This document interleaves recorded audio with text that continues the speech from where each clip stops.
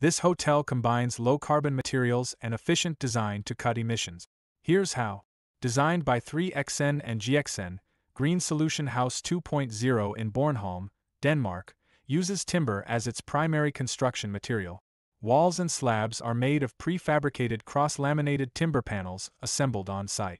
The panel's design and manufacturing processes were strategically integrated to lower construction time, costs, and waste. For example, grills for natural airflow were cut into the panels during manufacturing. The hotel's standardized grid based design and digital fabrication allowed the architects to calculate the quantity of material offcuts, which were used to create furniture. Thoughtfully placed skylights and windows mitigate the need for artificial ventilation and lighting. Locally sourced granite debris and glass waste were upcycled as surface finishes. How are buildings in your region reducing their carbon footprint? Let us know in the comments. Follow for more.